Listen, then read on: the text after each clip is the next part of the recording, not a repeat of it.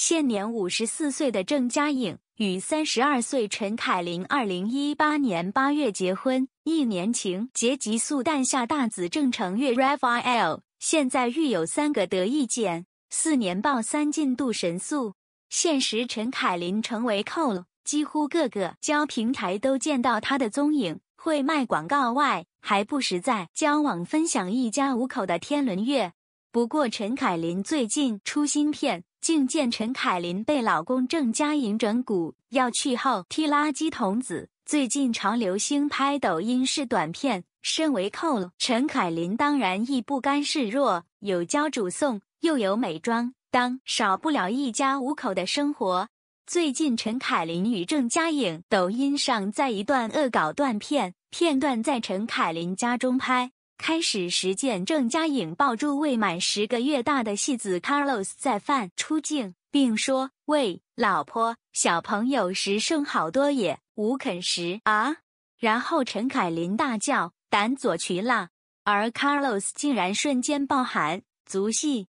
随后，陈凯琳问老公：“囡囡在哪？”瘫在书画完画的郑嘉颖轻松说：“你叫我胆左渠丫吗？”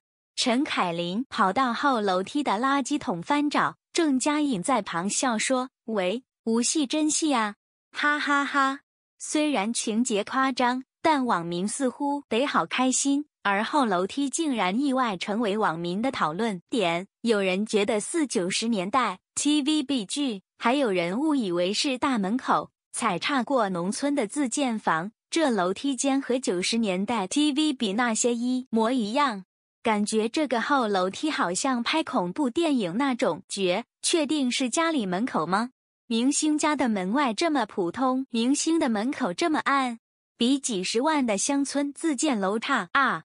郑嘉颖在二零一六年斥两千三百四十九点五万元购入何文田后田两个二房位，面积分别五百一十九及五百七十一平方英尺，并将两个单位打通做成英尺豪宅。当时的设计以木色为主调，曾招呼家人、龚嘉欣等好友到访。